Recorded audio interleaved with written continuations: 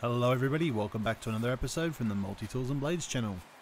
Today we're going to be having a look at the Century Apollo CN91.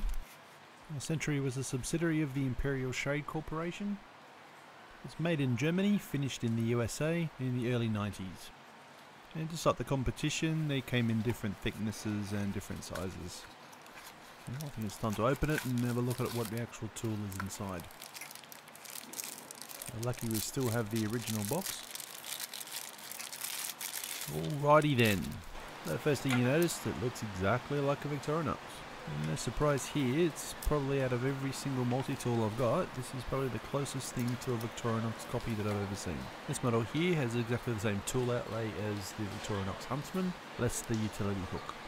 The scales are exactly the same, nice deep red plastic, can't really feel any difference. This one's obviously new in box, but there's a few little scratches on there. Most likely from polishing rather than actual use.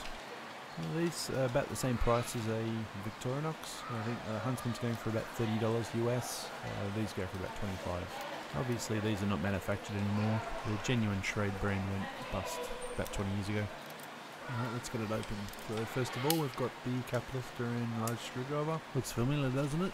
There's no real surprise that it's a direct copy from Victorinox. It's no surprise that this is made for a particular market, riding on the coattails of others. And the same goes for the can opener. It's identical.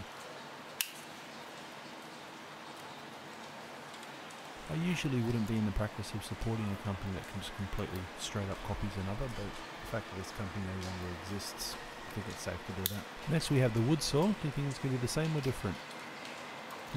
exactly the same. Well, at least it's nice and sharp, so for practicality use, you could still use this as a normal tool. It's not just a gimmick like some of those Chinese ones. In fact, if you told me that this came out of the Victorinox factory with someone else's name on it, I'd believe it. It just has that right feel about it.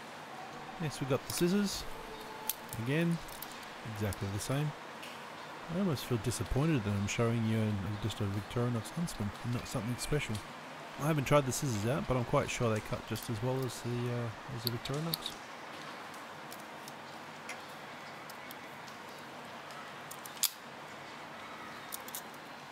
And now for something completely different. Just kidding. Exactly the same blade too. Tank stamp's different though. Here we go. ISC Stainless Germany. So ISC obviously stands for Imperial Schrade Corp. Nothing on the reverse.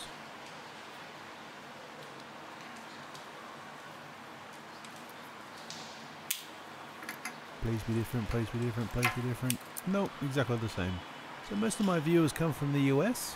If someone out there please tell me why you would buy something from made in Switzerland for a premium price than buy something cheaper that is manufactured or manufactured in Germany and assembled in the US. I'm curious to know.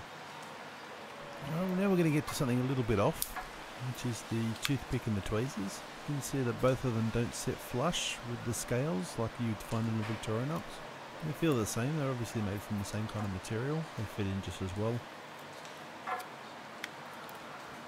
Now these tweezers are definitely an improvement over the Victorinox ones. They remind me of the uh, Schrade USA 94OT model that I have.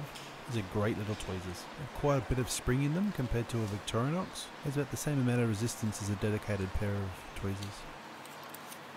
I think you get the point there, so I'm not going to keep going on about it. You see one of these out in the market there, feel free to pick one up. Good to add to your collection. I won't talk about the corkscrew and the reamer, you get the point. Well, thanks for watching once again. I hope you've enjoyed the video. Feel free to give me a comment down below if you have any questions. Please like and subscribe if you can, and I'll catch you all next time.